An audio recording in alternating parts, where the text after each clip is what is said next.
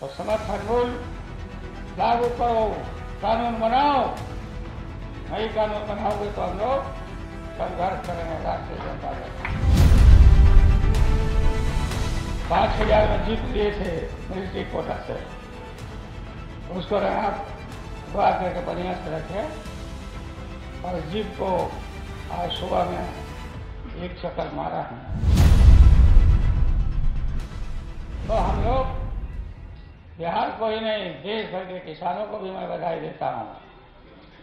कि लड़े लोग संघर्ष किए, लंबा संघर्ष। शहादत दिया किसानों ने, मजदूरों ने, हम लोगों ने, सब लोगों ने समर्थन दिया आप लोग किया। आज किसानों की जीत हुई है, और नरेंद्र मोदी की हार हो गई। अहंकार क्या अहंकार की हार हुई है। अहंकार की हार के बाद मैंने कहा, बधाई देने के समय में मीडिया के लोग आए थे, हमें कहा कि भैया और इंतज़ार करिए। ये जब तक समर्थन मूल्य किसानों के लागत के अनुसार उनका मूल्य अनाज का निर्धारण नहीं होगा, तब तक ये आंदोलन रुकने वाला नहीं। और हमको लड़ना है, इस लड़ाई को लड़ते रहना है। जब समर्थन मूल्य में पैसा मिलेगा किसानों को तो इससे हमारे मजदूर भाइयों को भी फ़ायदा होगा। फिर वो मजदूर को ज़्यादा बनिहारी देंगे। और उसके लिए सब कुछ संसाधन भी उसको मिलेगा, पक्का घर बनाएगा। आमदनी होगी तब न बनाएगा।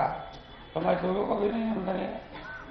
तो समर्थन मूल्य लागू करो, कानून बनाओ।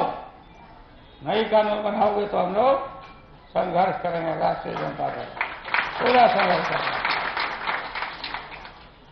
आपको भी बताना चाहता हूँ मैं कि मैंने कहा था कि मैं आता हूँ तो बिहार के हर कोने में मैं जाऊँगा।